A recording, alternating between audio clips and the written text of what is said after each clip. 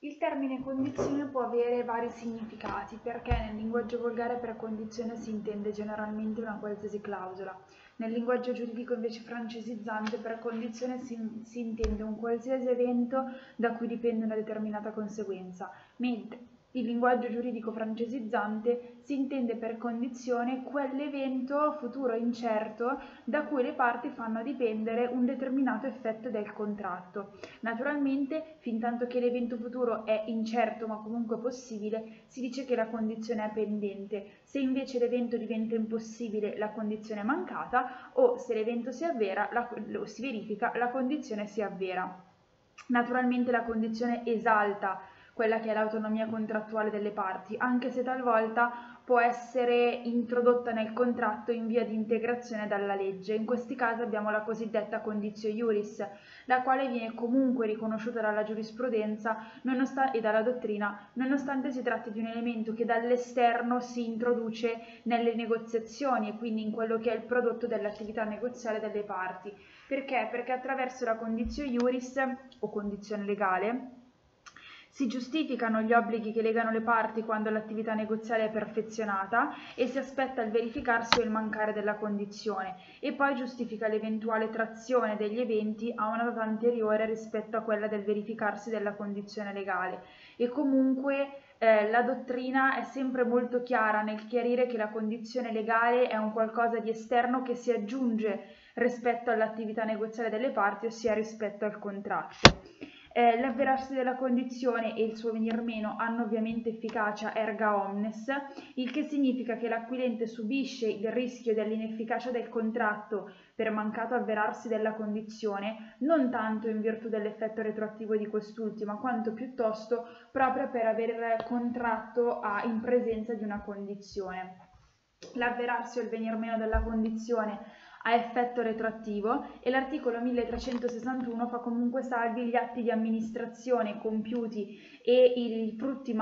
l'acquisto dei frutti maturati in pendenza della condizione da parte del titolare dell'esercizio del diritto e questo comunque per rispettare quella che è la volontà delle parti, anche se in realtà questi problemi spesso non si verranno nemmeno a porre perché per esempio nel caso della scommessa il pagamento si avrà solo quando la condizione si sarà già avverata. Eh, peraltro mh,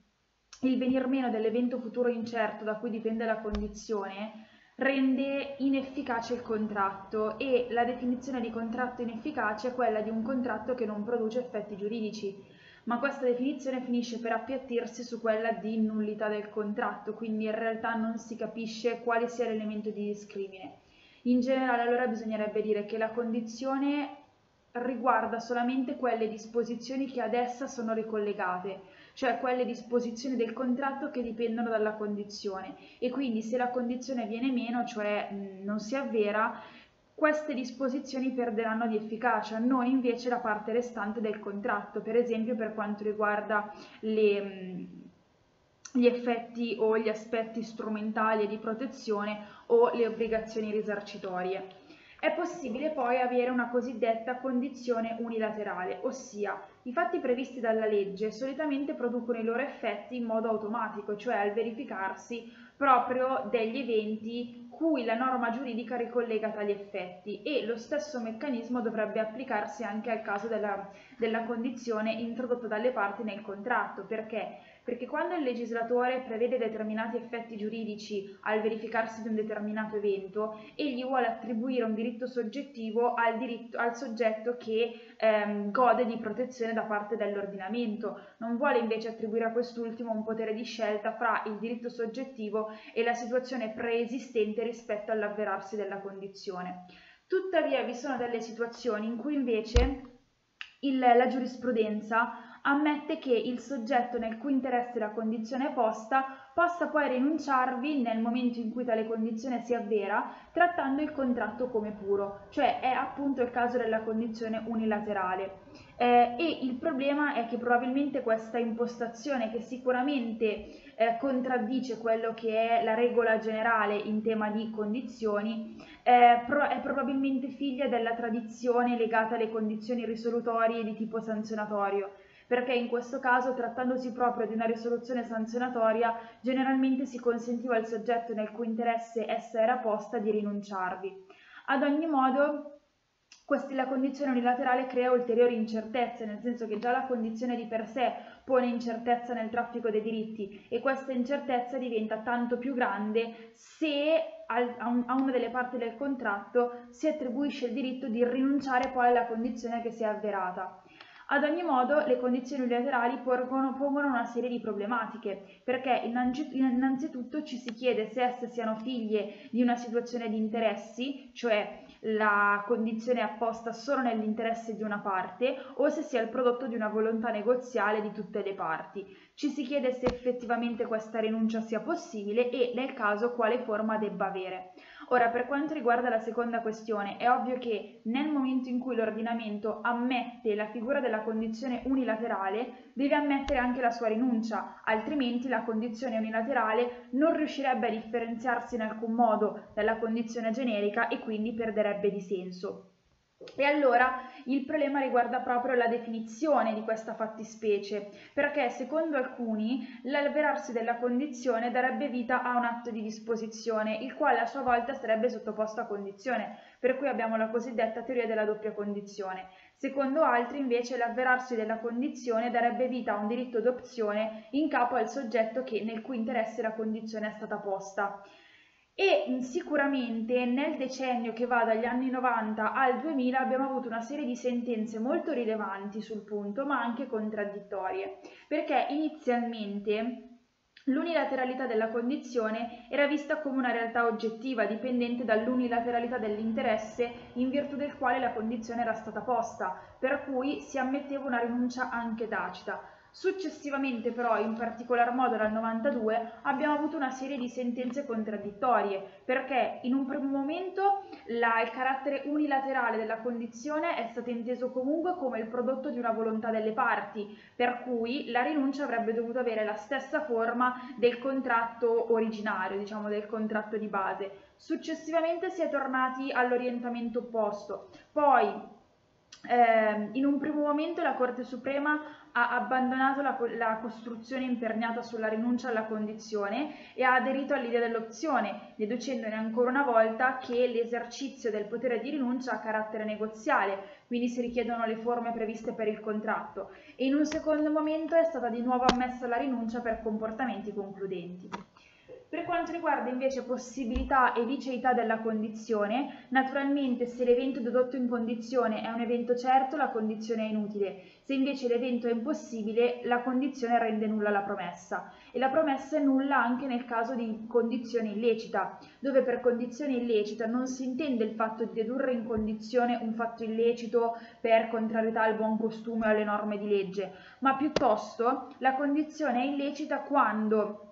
essa dipende eh, quando sostanzialmente è illegale o immorale il far dipendere quel dato effetto da quel determinato fatto. Per esempio ti pago 100 se commetti un atto illecito. Tuttavia la diffidenza nei confronti dell'autonomia contrattuale ha portato a tesi restrittive circa quello che può essere l'oggetto della condizione e allora taluni ritengono che la condizione possa essere posta solo per tutelare un interesse proprio del contratto cui la condizione si riferisce e non di un contratto collegato. In realtà la giurisprudenza ha negato questa tesi, perché dove opera l'autonomia contrattuale delle parti, una valutazione circa gli interessi compiuta dal giudice è possibile solo quando sia espressamente richiesta dalla legge e non è questo il caso.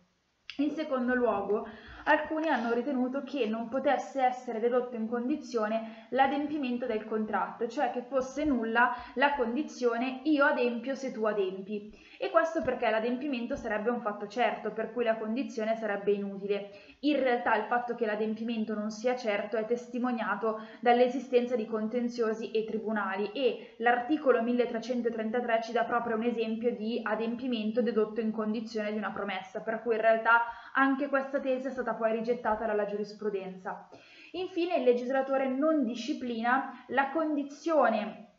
eh, regolata in modo da durare all'infinito e la, non dice nulla sulla durata della condizione che comporta una retroazione, anche se è ovvio che in quest'ultimo caso la durata non può essere eccessiva.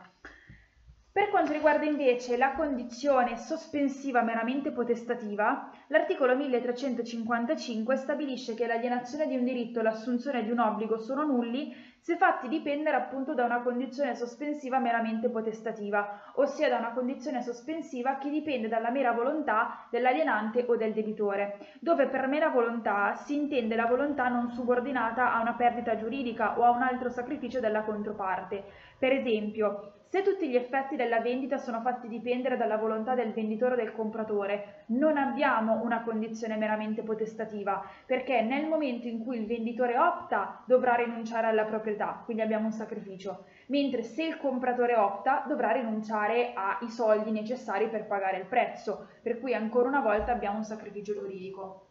In realtà però di recente la tendenza è proprio quella di parlare di condizione meramente potestativa ogni qualvolta si ha una condizione che dipende dalla mera volontà di una delle parti. In realtà questa è intesa come ehm, condizione il cui avverarsi dipende esclusivamente da una delle due parti, a prescindere dal fatto che vi sia un sacrificio giuridico o meno. In realtà appunto questa definizione non è corretta perché mentre l'articolo 1355 pone l'attenzione sul soggetto passivo, questa definizione sposta l'attenzione sul soggetto attivo. Inoltre l'articolo 1355 menziona esclusivamente la condizione sospensiva meramente potestativa e allora nel silenzio della legge alcuni ritengono che sia invece lecita la condizione risolutiva meramente potestativa. In realtà le conseguenze di questo tipo di condizione variano a seconda di quello che è il tipo di adempimento richiesto, ossia a seconda che oggetto del contratto sia una prestazione di fare, di dare o di sopportare. Per esempio, un soggetto si obbliga a non fare concorrenza fino a quando non deciderà di fare concorrenza. In questo caso non si ha un obbligo, non si ha un debito, non si ha neppure una promessa, la condizione è inutile. Ma possiamo per esempio avere il caso in cui un soggetto si impegna a sopportare un determinato rumore finché non deciderà di opporsi a questo rumore. In questo caso sicuramente non abbiamo un contratto né un obbligo giuridico, ma la condizione e la promessa valgono consenso dell'avente diritto, il quale è sì revocabile, ma fino alla revoca produce effetti. In terzo luogo possiamo avere il caso di compravendita, nel quale eh, il soggetto che aliena stabilisce che la cosa ritornerà sua se e quando vorrà, quindi viene dedotta in condizione una seconda alienazione, e ciò è possibile fin tanto che questa condizione non vada a svuotare completamente di significato la prima alienazione. Inoltre l'articolo 1359 stabilisce che la condizione si intende avverata nel momento in cui il mancato avverarsi dell'evento dedotto in condizione dipende da un fatto del soggetto che ha un interesse contrario al suo avverarsi in realtà però la portata dell'articolo 1359 è minore rispetto a quella che emerge dal suo tenore letterale, perché sicuramente questo, questa disposizione non si applica per esempio nel caso in cui Tizio promette di dare 1000 euro a Caio nel caso in cui gli rubino la macchina. E poi Tizio mette in fuga il ladro cioè sostanzialmente l'articolo 1359 non si applica a tutte quelle ipotesi in cui la condizione è volta a spostare il rischio da un soggetto a un altro o a dimostrare una capacità o un'abilità del promettente. Esso cioè si applica solo nel caso in cui le parti o una delle parti abbia alterato oggettivamente il gioco delle probabilità su cui si fonda il contratto e sulla base del quale viene calcolato il valore delle prestazioni pattuite. Eh, in pendenza poi della condizione, se si tratta di condizione sospensiva, il titolare del diritto può compiere atti conservativi. Se invece si tratta di condizione risolutiva, l'acquirente può esercitare il diritto, l'alienante può compiere atti conservativi. L'articolo 1358 poi introduce una clausola generale, ovvero stabilisce che in pendenza della condizione le parti devono comportarsi secondo buona fede. Quindi riprende in realtà quanto già disposto dall'articolo 1359, ma con una clausola generale, nel senso che nel momento in cui il 1359 afferma che la condizione si intende avverata quando il suo avverarsi è impedito dalla parte che ha interesse contrario all'avverarsi della condizione già richiede comunque alle parti di comportarsi secondo buona fede. Semplicemente l'articolo 1358 riprende questo dovere con una clausola generale che riguarda non solo i comportamenti passivi ma anche i comportamenti attivi. E questa clausola generale diventa rilevante soprattutto nell'ambito dei provvedimenti amministrativi richiesti nell'interesse di una sola delle due parti, perché spesso in questi casi la parte che richiede il provvedimento amministrativo tende a prolungare i tempi proprio per speculare sull'andamento del mercato e questa attività è lecita solo nel caso in cui le parti abbiano inteso attribuire a una di esse un, un diritto d'opzione, non invece al di fuori di questa ipotesi.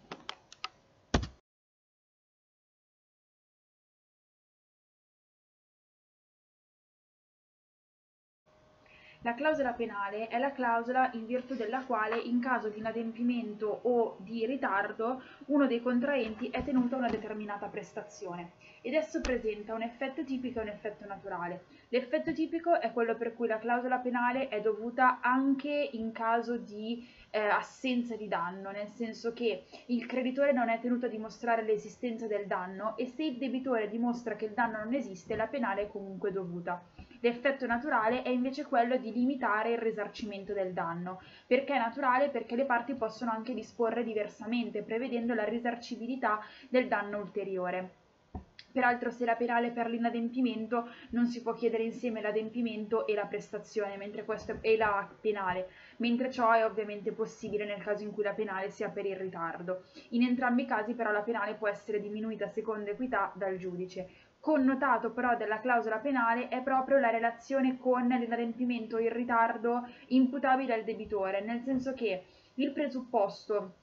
il requisito necessario e sufficiente perché la penale sia dovuta è che vi sia appunto un inadempimento o un ritardo imputabile al debitore a prescindere dal danno. Se il debitore prova che il ritardo o l'inadempimento non sono a lui imputabili, non sarà tenuto al pagamento della penale. Esiste peraltro una clausola che impone al debitore una prestazione anche quando ritardo e inadempimento non siano a lui imputabili, ma non è una clausola penale, è una clausola di assunzione del rischio. Generalmente, peraltro, la prestazione che è oggetto da, della penale è il pagamento di una somma di denaro, ma in realtà essa può avere ad oggetto qualsiasi prestazione purché si tratti di diritti disponibili. Inoltre abbiamo detto che le parti possono prevedere anche la risarcibilità del danno ulteriore, oppure possono limitare il risarcimento solo ad alcune poste del danno e non ad altre. La giurisprudenza inoltre ritiene che la clausola che la clausola penale non sia una clausola vessatoria, proprio perché esso fornisce una miglior tutela per il debitore, il quale sa già a priori a quale risarcimento andrà incontro in caso di ritardo in caso di inadempimento e limita molto spesso il valore di questo risarcimento. Tuttavia, essa potrebbe anche essere considerata in realtà vessatoria, innanzitutto perché limita le eccezioni che possono essere opposte in giudizio, non si può far valere come eccezione l'inesistenza del danno, e poi perché è limitativa della responsabilità del debitore. Peraltro, come abbiamo detto, la clausola penale può essere prevista, può prevedere o meno la risarcibilità del danno ulteriore. Nel caso in cui le parti prevedano la risarcibilità del danno ulteriore, si crea però una contraddizione. Perché? Perché ehm, per il pagamento della penale non è richiesta la prova del danno, ma per il risarcimento del danno ulteriore è richiesta la prova dello stesso danno ulteriore. E allora ci si chiede come questa contraddizione possa essere risolta. Semplicemente questo significa che se il creditore stragiudizialmente ottiene il pagamento di 1000 a titolo di penale e successivamente in giudizio fa valere il danno ulteriore, se questo danno ulteriore vale per esempio 1500, egli otterrà 500, cioè la differenza fra il danno ulteriore e la penale. Se invece il danno ulteriore è inferiore rispetto alla penale, allora il creditore non dovrà rinunciare a nulla, semplicemente tratterrà l'importo della penale. Tuttavia, la penale deve essere fatta valere in giudizio dalle parti, cioè non può essere mh, applicata d'ufficio. Dall'altra parte però le parti possono invece anche escludere la risarcibilità del danno ulteriore. E in questo caso il creditore non può chiedere il risarcimento integrale proprio perché la funzione della penale è quella di limitare la responsabilità del debitore, ma nonostante questo, in genere, essa non coincide con una clausola limitativa della responsabilità perché perché nel momento in cui l'ammontare previsto a titolo di penale è un ammontare equo, non si ha un'elusione della norma di legge, non si mira a escludere in realtà la responsabilità del debitore. L'elusione della legge, quindi la frode della legge, sia solamente quando l'ammontare previsto a titolo di penale è irrisorio, per cui sostanzialmente si esclude la responsabilità del debitore. Inoltre, come abbiamo detto, la penale può essere prevista per il ritardo o per l'inadempimento. Nel caso in cui la penale sia prevista per l'inadempimento, il creditore può scegliere fra la penale e l'adempimento. Ovviamente non potrà chiedere entrambe, ma se il creditore sceglie l'adempimento, il debitore non può poi liberarsi offrendo la penale. Inoltre, la penale per l'inadempimento può essere richiesta all'interno dell'azione di risoluzione o a prescindere da quest'ultima. Ci si chiede invece se l'azione di adempimento precluda poi la richiesta della penale per l'inadempimento e la risposta è negativa, nel senso che come sappiamo nel corso dell'azione di adempimento l'attore può anche scegliere poi di chiedere la risoluzione e nel corso del giudizio di risoluzione può chiedersi la penale per l'inadempimento, perciò tanto vale ammettere che anche nel corso dell'azione di adempimento l'attore potrà però poi cambiare idea e chiedere anche la penale per l'inadempimento la penale per l'inadempimento non può essere chiesta in caso di ritardo. Il caso contrario invece è dubbio, ma la risposta è prevalentemente affermativa. L'altro caso è invece quello in cui la penale sia prevista per il ritardo, essa ovviamente è compatibile poi con l'azione di adempimento ed è compatibile anche con la risoluzione per il caso in cui sia prevista una clausola espressa o per il caso in cui il ritardo ecceda la normale tollerabilità se al ritardo segue l'inadempimento e per lo stesso contratto è prevista sia una penale per il ritardo che una penale per l'inadempimento, il creditore potrà chiedere entrambe. Se si tratta invece di contratto di durata,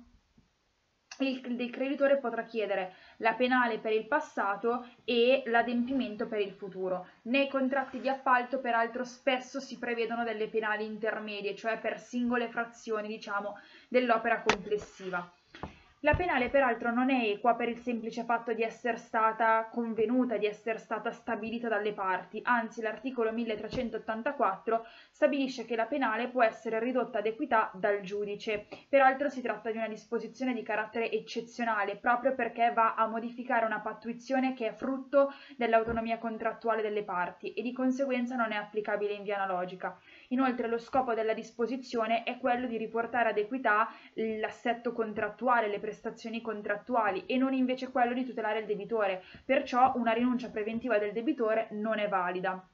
In passato inoltre si riteneva che la riduzione ad equità potesse operare solo su istanza di parte, mentre oggi si ammette un potere d'ufficio del giudice, il quale però può essere esercitato solo se tutti gli atti necessari sono già stati allegati in giudizio, proprio perché il giudice non è fornito di un corrispondente potere di ehm, ottenere e ricercare il necessario materiale probatorio. Inoltre, perché vi possa essere l'intervento del giudice, sono necessarie due condizioni alternative, ossia la prestazione è stata parzialmente adempiuta oppure l'importo della penale è manifestamente eccessivo, avuto riguardo in entrambi i casi all'interesse del creditore all'adempimento nel momento della conclusione del contratto e non invece avendo riguardo al danno o al valore dell'adempimento stesso. Accanto alla clausola penale, come contenuto speciale del contratto, possiamo poi avere la caparra confermatoria ovvero accade spesso che al momento della conclusione del contratto una parte versi all'altra una somma di denaro o consegni beni mobili fungibili. E ciò può avvenire a vario titolo, può avvenire a titolo di anticipo, cioè come adempimento parziale anticipato, a titolo di garanzia per il risarcimento del danno e quindi come cauzione, può avvenire a titolo di caparra penitenziale, cioè come corrispettivo per il diritto di recesso eh, di una delle parti, o ancora a titolo di caparra confermatoria.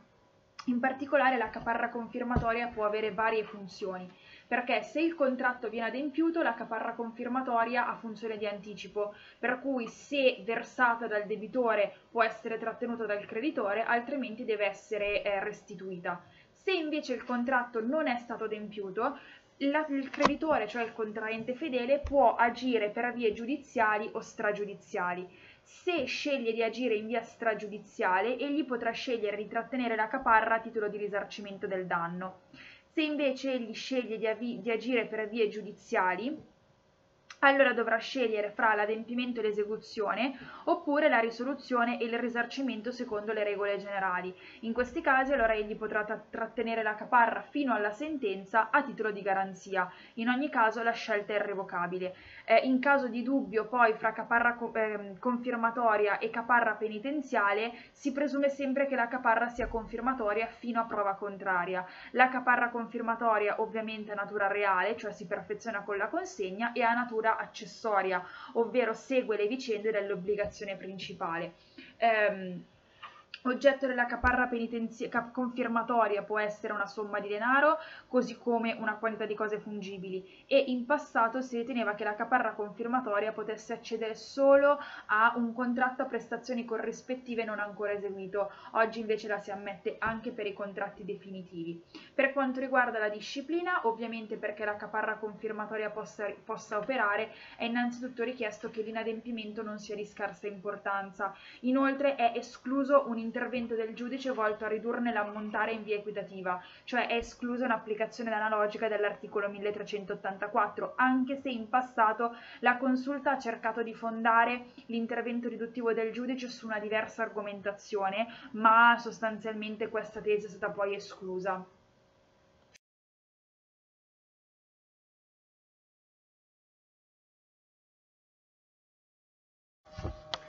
Il legislatore del 1942 disciplina poi la rappresentanza separatamente rispetto al mandato e partendo da un'ipotesi tipica che è l'ipotesi dell'articolo 1388, ossia il caso di un soggetto, il rappresentante, che agisce in nome e nell'interesse di un altro soggetto, il rappresentato, in modo tale che gli effetti del contratto si producano direttamente in capo a quest'ultimo. Quindi l'elemento che caratterizza la rappresentanza risiede proprio in quest'ultimo aspetto, cioè nel fatto che il contratto rappresentativo produce i suoi effetti direttamente nella sfera giuridica del rappresentato. Ma questo elemento può in realtà ritrovarsi anche in fattispecie che nominalmente non sono qualificate come rappresentanza, ma che quindi sarebbero suscettibili dell'applicazione della relativa disciplina. È il caso per esempio del gestore che agisce non solo nell'interesse ma anche nel nome altrui, è il caso del mandatario che acquista un bene mobile, in questo caso l'atto di acquisto produce i suoi effetti direttamente in capo al mandante, ma è anche il caso del rappresentante che agisce in assenza di poteri, dove questa carenza di poteri non è conosciuta dal terzo, oppure quando vi sia un principio di apparenza creato dal dominus o ancora quando il rappresentato ratifichi il contratto e per il caso in cui vi fosse conflitto di interessi non conosciuto o non conoscibile dal terzo contraente. Ad ogni modo, partendo dall'ipotesi tipica di rappresentanza, possono descriversi quelli che sono i tre requisiti cardine, ossia innanzitutto l'agire in nome altrui, cioè la spendita del nome del rappresentato da parte del rappresentante, che generalmente avviene al momento di conclusione del contratto. Quindi l'agire nell'interesse altrui e infine nei limiti dei poteri conferiti al rappresentante dal rappresentato e qui si, si, tratta ovviamente di una questione di volontà, cioè sono le parti che definiscono quelli che sono i limiti del potere di rappresentanza. La rappresentanza opera peraltro solamente nell'ambito dei contratti e dei negozi ehm, unilaterali fra vivi, non invece per quanto riguarda il testamento e per i negozi di diritto di famiglia e comunque anche nell'ambito dei contratti è esclusa per quanto riguarda la donazione. Per quanto riguarda invece il modo di conferimento, modifica e eh, revoca dei poteri di rappresentanza, gli articoli 1392 e 1396 parlano della procura. In realtà la procura non è l'unica fonte dei poteri di rappresentanza, come è dimostrato dall'esistenza di contratti che hanno il potere di rappresentanza come naturale negozi, oppure che presentano una forma tipica con rappresentanza e una forma tipica senza rappresentanza, a prescindere appunto dalla presenza o meno di una determinata causa. clausola. Ad ogni modo, per quanto riguarda la procura, essa altro non è che un atto unilaterale recettizio che vede come proprio destinatario il rappresentante. Peraltro perché la procura produca i suoi effetti non è necessario che il rappresentante riceva l'originale del documento, ma è sufficiente anche una copia. E il terzo sarà poi informato dei poteri di rappresentanza attraverso la spenta del nome, nonostante egli possa comunque chiedere fino al momento della conclusione del contratto la prova dei poteri di rappresentanza appunto al rappresentante importante. Per quanto riguarda la forma della procura, essa deve avere la stessa forma richiesta per il contratto rappresentativo, sia che si tratti di forma ad substantiam, sia che si tratti di forma ad probationem. Se invece la legge non chiede una forma particolare, ma questa forma è stabilita dalle parti, la procura può essere anche informale e se la forma del contratto rappresentativo è libera può aversi anche procura tacita. Per quanto riguarda l'onere della prova, è il terzo contraente che ha l'onere di dimostrare che gli effetti del contratto si producono in capo al rappresentato, mentre nell'ambito del giudizio di esecuzione sarà il rappresentante a dover dimostrare che tenuto all'esecuzione non è lui, ma appunto il rappresentato. Infine, per quanto riguarda i limiti dei poteri di rappresentanza, come abbiamo detto, si tratta di una questione di volontà, cioè tali limiti sono stabiliti dalle parti e ovviamente in particolare dal rappresentato. Revoca o modifica del potere di rappresentanza sono ancora una volta atti unilaterali recettizi che hanno quindi come destinatario il rappresentante e per i quali però non sono richiesti particolari requisiti di forma. Eh, modificazione e revoca non sono però efficaci nei confronti dei terzi se non vengono, loro, se non vengono portati loro conoscenza con mezzi idonei, a meno che si dimostri che erano, il terzo contraente ne era comunque a conoscenza. E ciò vale per la procura generale o comunque per la procura da amministrare parte del patrimonio, non invece per la procura per lo specifico atto, perché in questo caso la procura perde efficacia anche nei confronti dei terzi quando questo atto viene compiuto.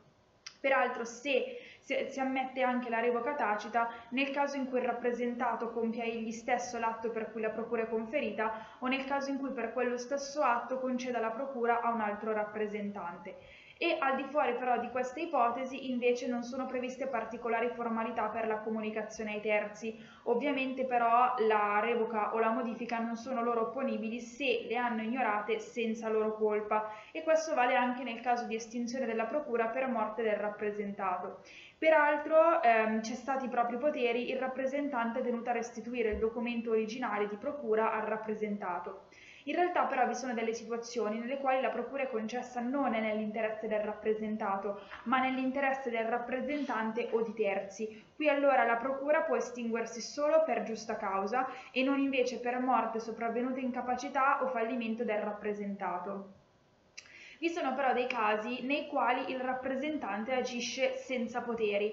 perché crede appunto di avere poteri quando in realtà non li ha più, o meglio, perché era dotato di poteri ma li ha persi prima di concludere il contratto, oppure perché questi poteri non gli sono mai stati conferiti, per esempio perché la procura è invalida o perché il rappresentato non aveva il potere di conferirgli appunto la rappresentanza. In tutti questi casi si parla di difetto di rappresentanza che è equiparato all'eccesso di rappresentanza ossia il caso in cui al rappresentante sono effettivamente conferiti dei poteri, ma il negozio da lui concluso eccede questi poteri. Diverso è invece il caso dell'abuso di rappresentanza, cioè quando il rappresentante agisce in conflitto di interessi rispetto al rappresentato.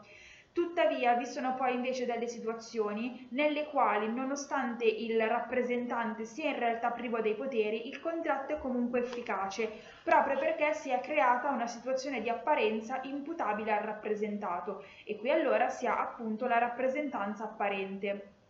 Peraltro, eh, nel caso in cui appunto il contratto rappresentativo sia concluso in presenza di un difetto di eccesso di rappresentanza, esso è sicuramente inefficace, infatti non potrà produrre effetti né tra il terzo contraente e il rappresentato perché appunto il rappresentante non era dotato dei poteri di rappresentanza e non potrà produrre effetti fra il terzo contraente e il rappresentante per il semplice fatto che quest'ultimo non ha speso il proprio nome ma il nome del rappresentato. Eh, tutto ciò salvo il caso in cui il rappresentato scelga di ratificare il contratto. Prima della ratifica però il terzo contraente e il falso rappresentante possono accordarsi per il suo scioglimento e questo non tanto per tutelare il mutuo recesso quanto piuttosto per evitare che a seguito della ratifica il terzo contraente scelga poi di recedere unilateralmente. Tuttavia il terzo contraente deve essere tutelato nel senso che la ratifica deve intervenire in tempi brevi, sia comunque per un'esigenza di certezza del diritto, sia comunque per garantire che il terzo contraente non resti per lungo lungo tempo ad attendere una possibile decisione del rappresentato. E allora il terzo contraente ha la facoltà di interpellare il rappresentato stesso. Rappresentato che però è l'arbitro della vicenda perché egli potrà scegliere di agire in giudizio per far dichiarare inefficace il contratto, in questo caso egli è l'unico legittimato attivo, potrà restare inerme e allora se si ha l'interpello da parte del terzo contraente, scaduto il termine previsto, il silenzio del rappresentato è considerato come una dichiarazione di inefficacia del contratto. In terzo luogo, il rappresentato potrà scegliere di ratificare il contratto. La ratifica è ovviamente un atto unilaterale recettizio che ha però come destinatario il terzo contraente o quantomeno deve essere lui comunicata e si può avere anche ratifica parziale. Ovviamente per la ratifica è però necessario che il rappresentato abbia comunque conoscenza del contenuto del contratto rappresentativo. La ratifica mh, deve avere ovviamente la stessa forma del contratto rappresentativo, se però per quest'ultimo è prevista la forma libera, allora, allora la ratifica potrà essere anche tacita. La ratifica ha ovviamente effetto retroattivo, quindi conferisce al rappresentante ex post, ma con efficacia ex tunc, i poteri di rappresentanza. Questo significa che la ratifica non va a sanare eventuali vizi del consenso o della volontà presenti al momento della conclusione del contratto, però rende irrilevanti eventuali vizi insorti successivamente. Nonostante poi la ratifica abbia efficacia retroattiva, sono però fatti salvi i diritti acquisiti dai terzi, dove per terzi però ovviamente non si intende il terzo contraente né i suoi eredi. Sono invece sicuramente terzi gli aventi causa del rappresentato in data anteriore alla ratifica, mentre è dubbio se possano considerarsi terzi gli aventi causa del terzo contraente con data anteriore alla ratifica ma successiva alla conclusione del contratto. Qui però la tesi prevalente è quella negativa. Nel caso in cui però il rappresentato scelga di non ratificare il contratto, il terzo contraente potrà chiedere il risarcimento del danno al falso rappresentante in virtù di una responsabilità precontrattuale.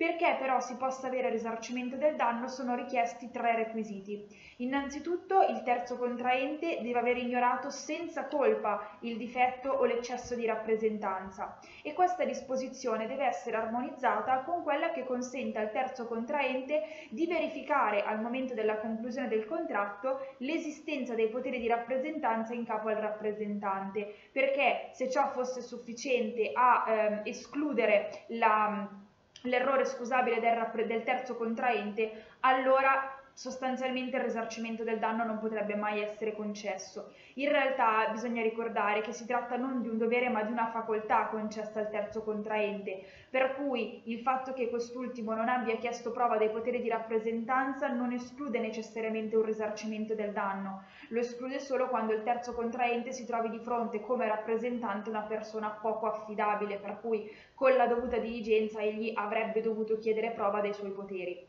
In secondo luogo,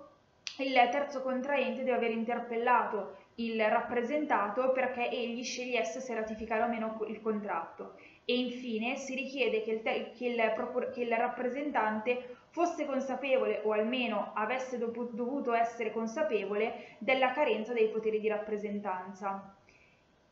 A questo punto quindi possiamo dire che in caso di difetto di eccesso di, di, rappresentanza la tutela concessa al terzo contraente è scarsa, nel senso che egli potrà semplicemente accordarsi con il rappresentante per un eventuale scioglimento del contratto. In caso contrario, salva la sua facoltà di interpello, dovrà attendere la decisione del rappresentato. Se il contratto viene ratificato, quest'ultimo sarà efficace, in caso contrario, se sussistono tutti i requisiti, potrà ottenere il risarcimento del danno. La situazione muta però nel caso in cui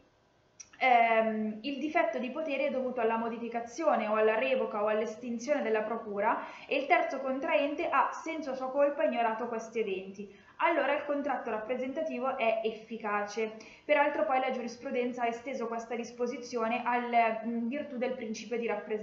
di eh, apparenza per cui il contratto è efficace nel caso in cui il terzo contraente non abbia conosciuto del difetto dell'eccesso di rappresentanza, quindi lo abbia ignorato senza sua colpa, in virtù di un principio di apparenza, di una situazione di apparenza imputabile al rappresentato, cioè il soggetto il cui nome è stato speso. E allora qui l'arbitro della situazione non è più il rappresentato, ma è il terzo contraente, il quale potrà scegliere se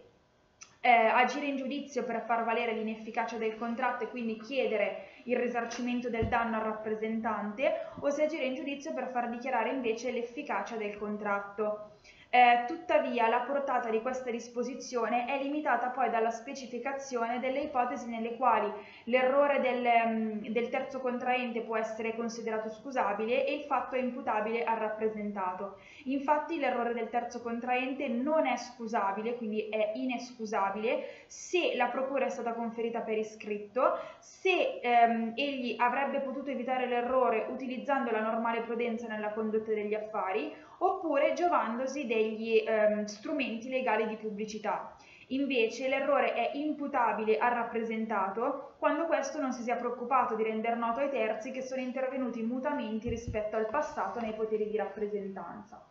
Naturalmente, perché possa essere concluso il contratto rappresentativo, si richiede che il rappresentato sia capace e sia legittimato a compiere a concludere quel determinato contratto, mentre per il rappresentante è sufficiente la capacità di intendere di volere. Ovviamente il contratto è annullabile se sono presenti vizi della volontà o del consenso riferibili al rappresentante, a meno che non si tratti di elementi del contratto che sono stati predeterminati dal rappresentato e allora rilevano i vizi della volontà e del consenso di quest'ultimo. Quando poi rileva lo stato soggettivo, in caso di malafede del rappresentato non gli giova la buona fede del rappresentante. Se invece il rappresentato è in buona fede, su di lui si ripercuote la malafede del, del rappresentante, ma gli giova anche la buona fede di quest'ultimo.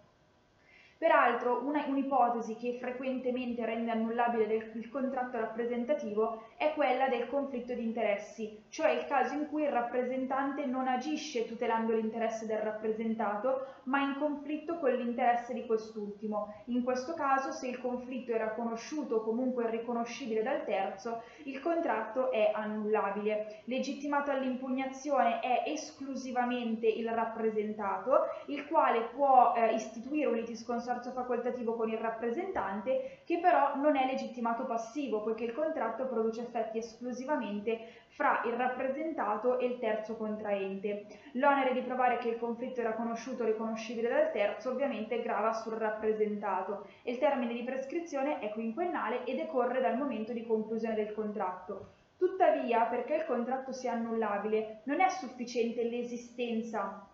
del conflitto di interessi, ma è necessario che tale conflitto di interessi abbia pregiudicato il rappresentato. Quindi, ammesso che rilevi il carattere pregiudizievole, è ovvio che la valutazione deve poi essere fatta ex ante, cioè con riferimento al momento di conclusione del contratto e non invece sulla base di quello che è l'andamento del mercato. Eh, se però il rappresentante che si trova in conflitto di interessi evita che, pre che ciò pregiudichi il rappresentato, il contratto non è annullabile, il che va a complicare l'onere della prova, perché il rappresentato ha l'onere di provare l'esistenza del conflitto di interessi, grava invece sul rappresentante l'onere di dimostrare che questo non ha causato pregiudizio per il rappresentato e questo mh, mm, al fine di equilibrare due diverse esigenze. Da un lato quella comunque di non gravare con un onere della prova eccessivo al rappresentato, dall'altro quella di evitare che comunque il contratto concluso in presenza di conflitto di interessi sia sempre annullabile anche quando non pregiudizievole. Naturalmente l'annullamento è escluso quando vi è conflitto di interessi, ma gli elementi del contratto sono stati predeterminati dal rappresentato. Inoltre l'annullamento è escluso quando il conflitto di interessi sia sorto successivamente al momento della conclusione del contratto oppure eh, quando il conflitto di interessi esisteva prima della conclusione del contratto ma è venuto meno al momento in cui il contratto è stato concluso. Inoltre il conflitto è escluso se l'annullamento è escluso se il conflitto ha consentito comunque di contrarre a condizioni più favorevoli per il rappresentato mentre il fatto che si, sia stipulato, si siano stipulate condizioni sfavorevoli per il rappresentato non è prova necessaria del conflitto di interessi, è semplicemente un indice della sua esistenza. Tuttavia il contratto potrebbe comunque essere annullabile nel caso in cui il conflitto di interessi, venuto meno prima della conclusione del contratto, era in realtà esistente nella fase delle trattative. Un'ipotesi particolare di conflitto sia poi quando il rappresentante conclude il contratto in proprio o come rappresentante di altri, cioè si parla del cosiddetto contratto concluso con se stesso. L'articolo 1387 afferma poi che il potere di rappresentanza è conferito dalla legge o dall'interessato, quindi nel primo caso abbiamo la rappresentanza legale, nel secondo caso la rappresentanza volontaria, le quali differiscono innanzitutto per il fatto che nel caso della rappresentanza legale i poteri sono conferiti direttamente dalla legge, nel secondo caso invece dall'interessato attraverso generalmente la procura. Questo rende quindi la disciplina della rappresentanza volontaria solo parzialmente applicabile alla rappresentanza legale, perché sicuramente anche per la rappresentanza legale opera il principio per cui gli effetti del contratto si producono direttamente in capo al rappresentato. Tuttavia, per esempio, è esclusivo della rappresentanza volontaria il principio per cui la procura deve rivestire la stessa forma del contratto rappresentativo, così come è inapplicabile alla rappresentanza legale il principio che pone a carico del rappresentato che modifica o revoca la procura un onere di comunicazione, così come non opera il principio di apparenza, proprio perché non si può rendere valido il contratto rappresentativo in virtù di un fatto imputabile a un soggetto incapace. Anche nella rappresentanza legale invece il terzo contraente può chiedere la prova dei poteri di rappresentanza e il contratto concluso dal falso rappresentante può essere ratificato o dal vero rappresentante legale oppure dal rappresentato quando sia cessata la causa di incapacità. Eh, sono poi applicabili invece il principio per cui rilevano i vizi della volontà del rappresentante, non invece i vizi della volontà del rappresentato in quanto appunto incapace.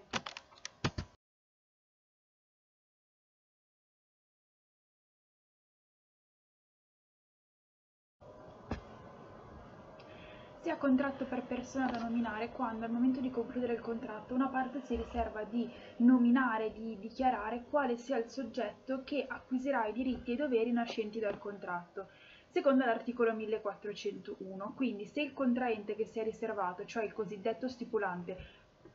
fa la dichiarazione di nomina e questa è valida, i diritti e i doveri nascenti dal contratto si produrranno in capo a un soggetto terzo detto, detto eletto con efficacia ex tunc.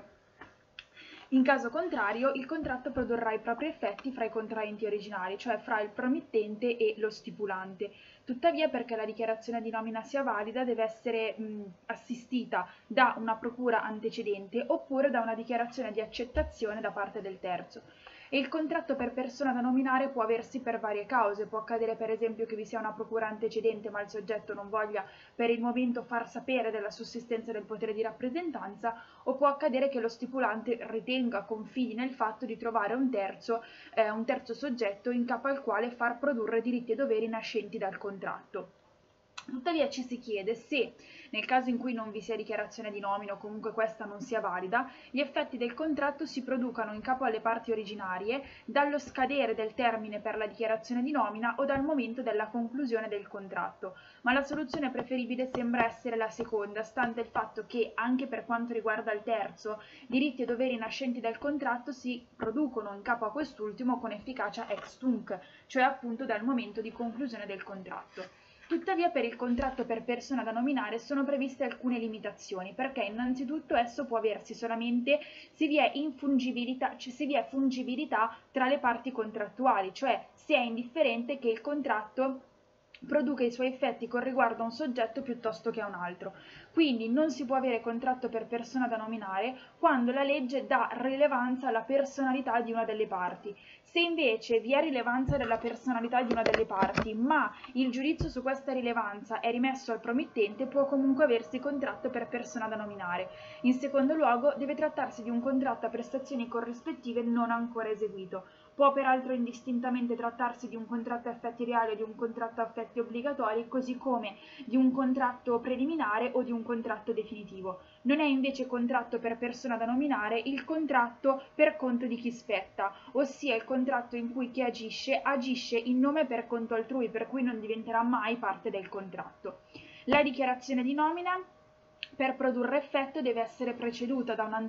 da una procura antecedente oppure vi deve essere una dichiarazione di accettazione da parte del terzo. La dichiarazione di accettazione dovrebbe essere contestuale rispetto a quella di nomina o comunque deve intervenire entro il termine fissato per la nomina stessa. Lo stipulante peraltro può nominare anche più soggetti e la forma della dichiarazione di nomina, della procura e della dichiarazione di accettazione deve essere la medesima del contratto cui si fa riferimento, anche se si tratta di contratto in informale. Peraltro il termine previsto dalla legge per la dichiarazione di nomina è di tre giorni, però le parti possono pattuire un termine differente purché sia certo e determinato. Quindi, concluso il contratto, se lo stipulante effettua una valida dichiarazione di nomina entro il termine prestabilito, il contratto produce i suoi effetti in capo al terzo, cioè in capo al soggetto eletto, se quest'ultimo accetta ovviamente la dichiarazione di nomina. In caso contrario, il contratto produrrà i suoi effetti fra le parti originarie.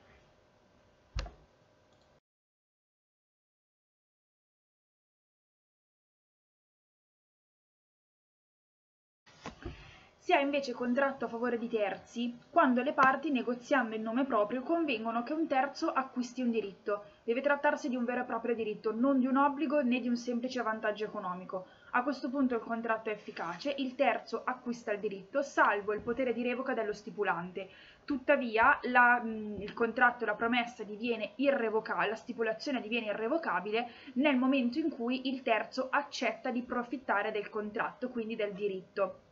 perché il terzo viene qualificato non come parte contrattuale ma appunto come terzo, perché egli in realtà al momento della conclusione del contratto non esprime un proprio consenso e dunque una propria volontà. Si richiede però che vi sia un interesse dello stipulante e allora ci si chiede in cosa consista questo interesse. Quindi secondo una prima ricostruzione dottrinale l'interesse dello stipulante sarebbe l'interesse di quell'articolo 1174, cioè la prestazione oggetto del contratto deve essere suscettibile di valutazione economica e deve corrispondere a un interesse anche non patrimoniale del creditore. Secondo invece un altro orientamento dottrinale, tale interesse sarebbe l'interesse meritevole di tutela che la legge pone come limite per l'autonomia contrattuale. Il problema che è che entrambe queste ricostruzioni non aggiungono nulla di nuovo, cioè in questo modo l'articolo 1411, che disciplina appunto il contratto a favore di terzo, andrebbe semplicemente a riprendere e ripetere quanto già stabilito da norme di carattere generale. E allora possiamo analizzare più specificamente in quali casi sussiste l'interesse del, dello stipulante. Esso sussiste sicuramente quando il suo interesse corrisponde con l'interesse del terzo alla prestazione, ossia quando sostanzialmente si ha il socio che stipula per la società, l'associazione che stipula per l'associato, eccetera. In secondo luogo l'interesse è chiaro quando la prestazione del promittente libera lo stipulante, per esempio ehm, il caso in cui in precedenza lo stipulante aveva promesso la prestazione al terzo. In terzo luogo, si ha interesse dello stipulante quando, attraverso il contratto a favore di terzo, egli acquista un diritto oppure una liberazione. Per esempio, il promittente darà una certa somma di denaro al terzo, la quale somma di denaro era stata invece promessa dallo stipulante al terzo a titolo di mutuo. E allora, se l'interesse del creditore alla prestazione avesse solo carattere patrimoniale, queste ipotesi esaurirebbero gli spazi per il contratto a favore di terzo. In realtà la legge non distingue fra interesse patrimoniale e interesse morale, per cui l'interesse che anima lo stipulante può essere anche il semplice interesse di arricchire un terzo soggetto. Ovviamente poi accanto all'interesse dello stipulante il contratto deve presentare anche tutti i requisiti richiesti a un contratto di ordine generale, in particolar modo la causa, se manca la causa il contratto è nullo. Tuttavia il rapporto che lega lo stipulante al terzo può anche essere un rapporto di carattere liberale, quindi mh, sostanzialmente il contratto va ad integrare una donazione indiretta, ma non è richiesta alcuna formalità. Perché? Perché invece è a titolo oneroso il rapporto che lega lo stipulante con il promittente. E questo ci fa capire come talvolta l'articolo 1411 permette di semplificare rispetto alle regole generali, generali in tema di contratti. Per esempio è possibile che il terzo sia un soggetto che ancora deve venire ad esistenza, quindi per esempio il contratto a favore di una società costituenda il che peraltro crea alcune problematiche, poiché ci si chiede in questo caso se nelle more, nell'attesa che il terzo venga ad esistenza, il diritto alla prestazione sia acquisita dallo stipulante o se invece il diritto attenda a venire ad esistenza e in particolare quindi venga ad esistenza solo nel momento in cui sia venuto ad esistenza anche il terzo. Un altro problema riguarda invece il caso in cui l'obbligazione sia destinata ad un adempimento lontano nel tempo, per cui ci si chiede se in questo caso mm, eh, l'identificazione del terzo possa anche essere posticipata. e la risposta affermativa ci viene fornita dalla disciplina in tema di assicurazione sulla vita a favore del terzo, perché in questo caso si consente allo stipulante di designare il beneficiario in un momento successivo anche attraverso una dichiarazione testamentaria. Ora, la dichiarazione del terzo non è necessaria per la conclusione del contratto, quindi i vizi del suo consenso non saranno rilevanti. Ciò che il terzo acquista è un vero diritto e questo diritto è autonomo, nel senso che il terzo può autonomamente agire nei confronti del promettente per l'adempimento. Più complesso è invece il discorso che riguarda la risoluzione, perché il terzo innanzitutto non può eh, interferire con il diritto dello stipulante attraverso una sua iniziativa perché non ne ha la disponibilità e in secondo luogo egli non ha l'interesse a far venir meno il controdebito dello stipulante nei confronti del promettente. Naturalmente l'acquisto del terzo fino alla sua accettazione è sottoposto a una duplice alea, ossia la revoca da parte dello stipulante e il rifiuto del terzo stesso. Quindi se lo stipulante revoca la stipulazione oppure il terzo rifiuta, il, la prestazione dovrà essere eseguita dal promettente nei confronti dello stipulante. La revoca è sicuramente un negozio unilaterale recettizio che deve essere indirizzata al promettente ed è infatti giusto che questi sappia a chi deve adempiere la prestazione. Tuttavia è anche corretto che il terzo sia informato del fatto che non riceverà più la prestazione, perciò dovrebbe piuttosto dirsi che la revoca deve essere indirizzata al terzo, ma deve poi essere comunicata anche al promettente perché sia opponibile perché produca effetti nei confronti di quest'ultimo. Del pari il rifiuto è indirizzato allo stipulante, ma deve essere poi notificato al promettente perché produca effetti nei confronti di quest'ultimo. Ovviamente la revoca e il rifiuto aumentano le incertezze nel traffico dei diritti, sicché per taluni tipi di contratti il potere di revoca e di rifiuto potrebbero essere limitati nel tempo o addirittura esclusi, il che però non accade per un grande numero di contratti il cui obiettivo, il cui scopo è proprio quello di attribuire allo stipulante un potere di disporre che sia il più eh, duraturo possibile, cioè questo potere di disposizione della prestazione diventa proprio il reale oggetto del contratto e questo potere è tanto più importante quanto più sia duraturo nel tempo, tanto che spesso questo potere di disposizione si trasforma in un potere di disposizione per atti mortis causa. E a questa ipotesi è dedicato l'articolo 1412, secondo cui se la prestazione deve essere fatta al terzo dopo la morte dello stipulante, quest'ultimo può anche revocare il beneficio tramite disposizione testamentaria e se il terzo muore prima che la prestazione sia a lui adempiuta, tale prestazione dovrà essere resa agli eredi del terzo a meno che lo stipulante non disponga diversamente tramite sempre disposizione testamentaria.